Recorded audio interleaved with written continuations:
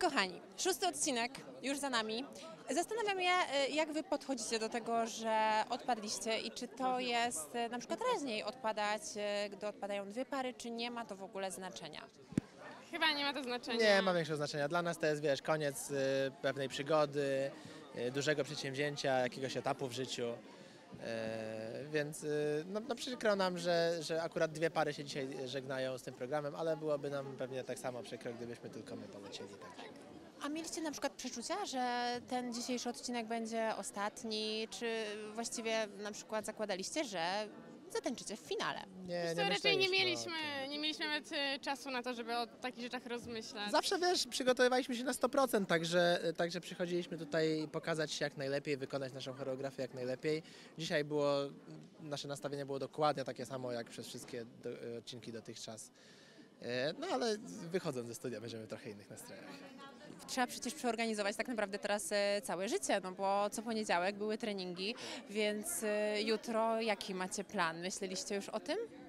E, Tak, rano idziemy na wywiad, na który już jesteśmy umówieni, a ja potem prosto do biura i do pracy, no bo jest co robić.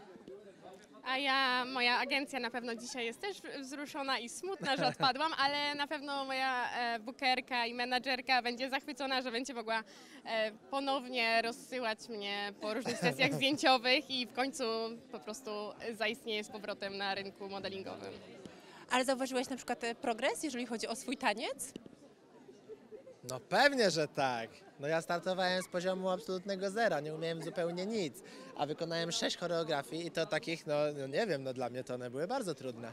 Nie wiem jak e, w ocenie Państwa i, i kogoś, kto się bardziej na tym zna, ale wykonałem ogromną robotę w, w tym programie, e, więc tak, jak najbardziej. Od pierwszego treningu Filip zrobił e, postęp kolosalny. Ciężko objąć to słowami, jak duży ten progres zrobił. Jak stąd, no nie wiem, do Pruszkowa.